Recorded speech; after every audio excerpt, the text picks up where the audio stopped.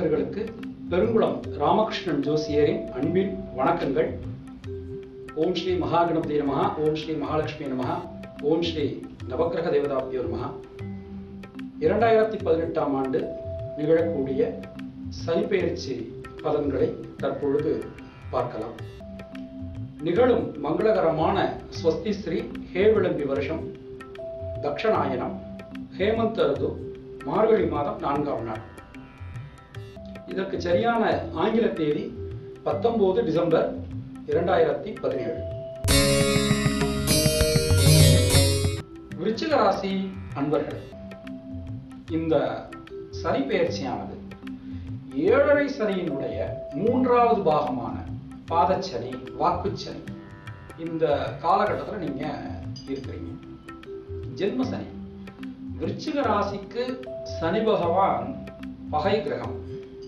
அந்த பகை கிரகமானது இவ்வளவு நாளாக உங்களுடைய ராசியில சஞ்சாரம் பண்ணிட்டு இருந்தார் பன்னெண்டு பன்னெண்டு ரெண்டாயிரத்தி பதினாலுக்கு பிறகு மிகப்பெரிய போராட்டம் மன உளைச்சல்.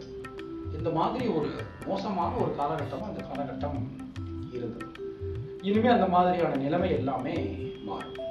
இந்த பாதச்சனி வாக்குச்சனி இதுல சில விஷயங்கள் மட்டும் கவனமா இருந்தாலே மிகப்பெரிய மாற்றங்களை நாம் வாழ்வில் வேட முடியும் இந்த சனிப்பெயர்ச்சி முடிந்த காலகட்டத்தில் குரு பகவான் உங்களுடைய ராசிக்கு ஐந்து மாத காலம் அதிசாரமாக வருகிறார்.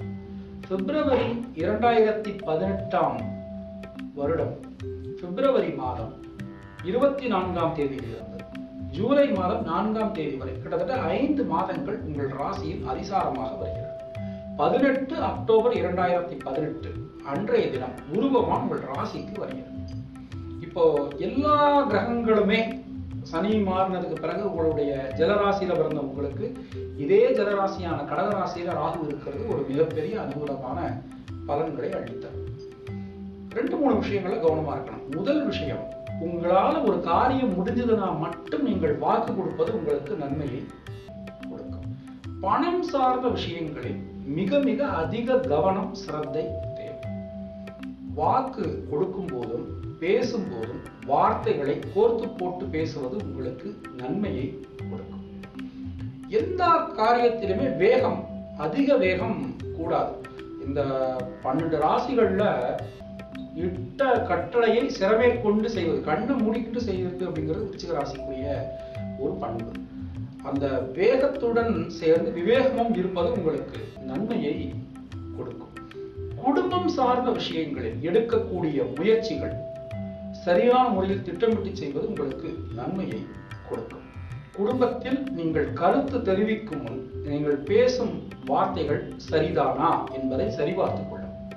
தொழில் உத்தியோகத்தை பொறுத்தவரை குரு பெயர்ச்சிக்கு பிறகு இரண்டாயிரத்தி பதினெட்டாம் வருடம் அக்டோபர் மாதம் நிகழக்கூடிய குரு பெயர்ச்சிக்கு பிறகு உங்களுக்கு மிகச்சிறந்த எதிர்காலம் வந்து சேரும். தொழில் உத்தியோகத்தில் நீங்கள் எடுக்கக்கூடிய முயற்சிகளானது ஒரு முறைக்கு பல முறை செய்தால் மட்டுமே மிகப்பெரிய மாற்றங்களை நீங்கள் சந்திக்க முடியும். எந்த விஷயத்தை எடுத்திருந்தாலும் பொறுமை நிதானம் வார்த்தைகளில் கவனம் அவசியம்.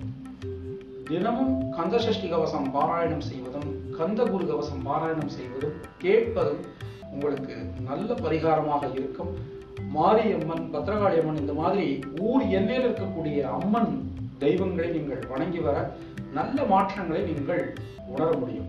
மதிப்பெண்கள் அடிப்படையில் உங்களுக்கு அறுபத்தி ஐந்து சதவீதம் நல்ல பலன்களை நாம் எதிர்பார்க்கலாம்.